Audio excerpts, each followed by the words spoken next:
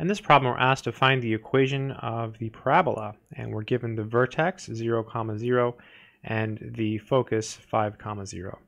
So in these problems, I like to start by drawing a rough picture. So here's the y-axis, and here's the x-axis.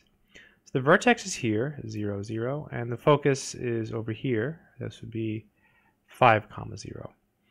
And the key point is that a parabola always opens towards the focus. So because the vertex is here and the focus is here, it must open this way.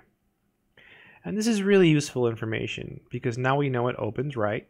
So that means our C is positive in our formula. And more importantly, it tells us what formula to use. So whenever the parabola opens left and right, the y is being squared.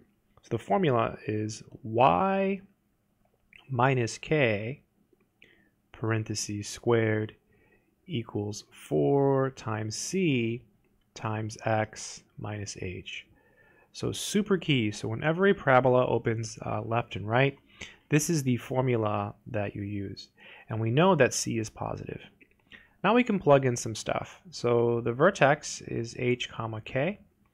So this will be y minus 0 squared equals 4c times x minus 0. So this is y squared equals 4c times x. The distance between the vertex and the focus is always equal to the absolute value of c.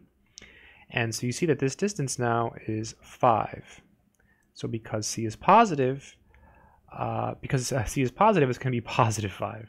And again, the reason it's positive is it opens right. If it was opening left, it would be a negative 5. So now we just take the 5 and plug it in. So y squared is equal to 4 times 5 times x.